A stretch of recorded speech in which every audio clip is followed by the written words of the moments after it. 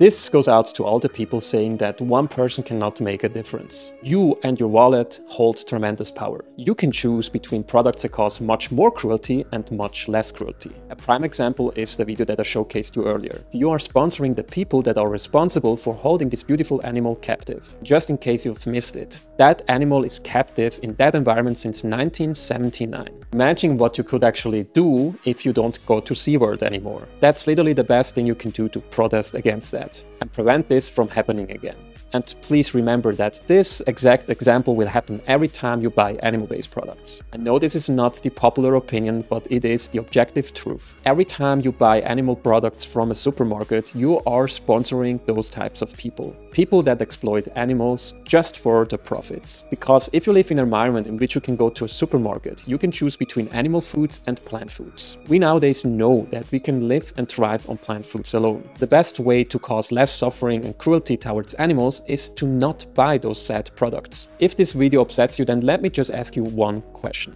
Why?